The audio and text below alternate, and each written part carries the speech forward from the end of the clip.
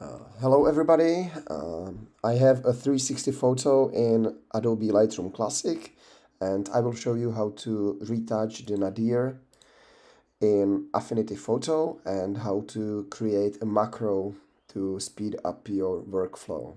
So first right click, edit in Affinity Photo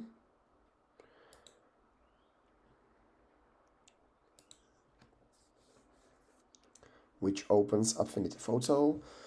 I don't have the macros yet. So first let me show you the basic workflow without macros. I click layer, live projection, equirectangular projection, and I change pitch to 180. Now you can choose any retouching tool you want. It can be either in painting brush, patch tool, uh, stamp tool, or you can simply select and edit in paint. Whatever you like. There are several ways. Now I deselect.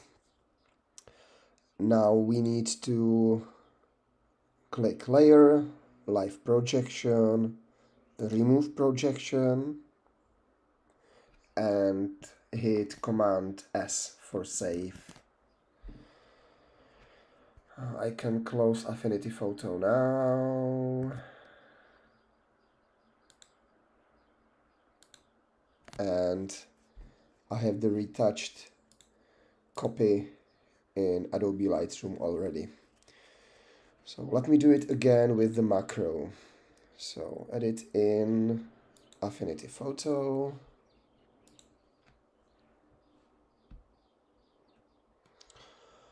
It's very simple. First, make sure that you have visible macro in View Studio Macro. I have it here. So let's record our first macro. Start recording layer, live projection, equirectangular uh, projection, and set pitch to 180. And stop recording. I have two steps here. Now I will add this macro to library and I will call it Nadir. Okay, Nadir. Now let's get back to macro, reset and record the second macro, which will be only layer, live projection, remove projection. Okay, stop recording and add it to the library again. I will call it remove projection. Okay, now in the library I have two macros, nadir and remove projection. Let me show you the whole process from the beginning. So I'm back in Lightroom Classic. I right click, edit in Affinity Photo. And now it's this simple. Click Nadir do your retouching.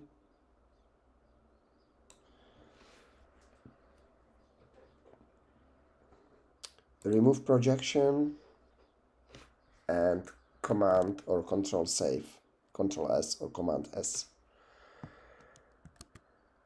So it should appear here. Yes it's here. So it's quite simple. Enjoy